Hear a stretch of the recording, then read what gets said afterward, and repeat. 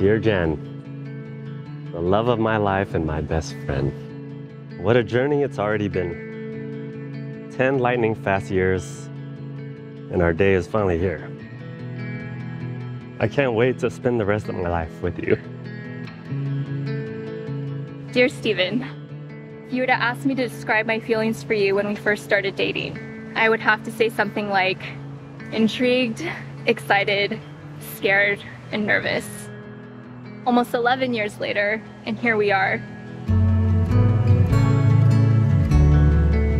The truth is, since the beginning, you felt like home. I only feel right when I'm with you. I knew all roads, however long and winding, would lead here. Some days have been harder than others, but I'd do it again a million times. And can't wait to keep doing it with you every day. Thanks for making me the luckiest man in the world.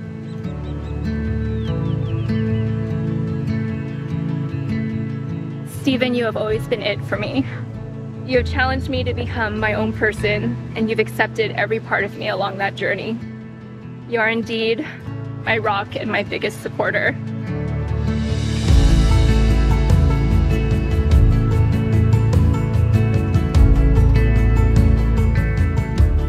Love has greeted me in so many different forms in a hug, in laughter, in tears, just from holding hands, and of course, in a kiss.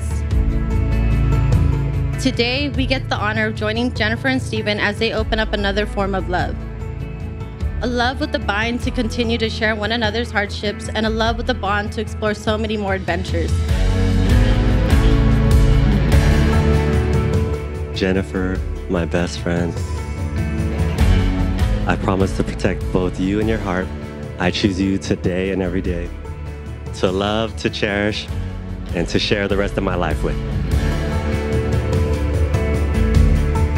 I choose you, Steven, to be my husband and partner in life. I promise to trust and respect you, to laugh and cry with you. I promise to protect both you and your heart. I promise to love all of you, as you are now and everything you've yet to become. I choose you today and every day to love, to cherish, and to share the rest of my life with.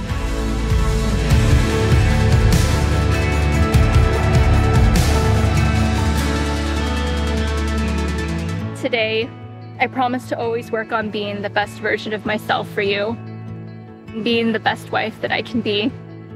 I can't wait to continue this life journey with you and see where it takes us. I love you forever and always.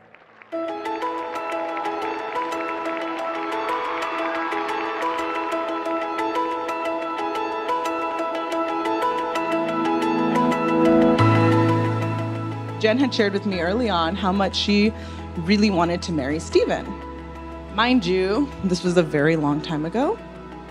And I would have thought they'd be married by now. but since that wasn't the case, Jen, I commend you on your patience. It shows the rest of us how much you truly love Steven.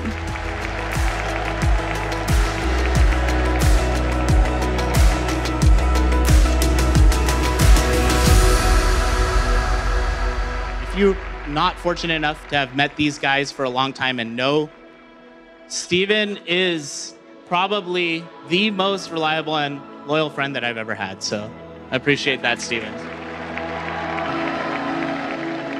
I hope you realize how lucky you are to have such an amazing woman by your side.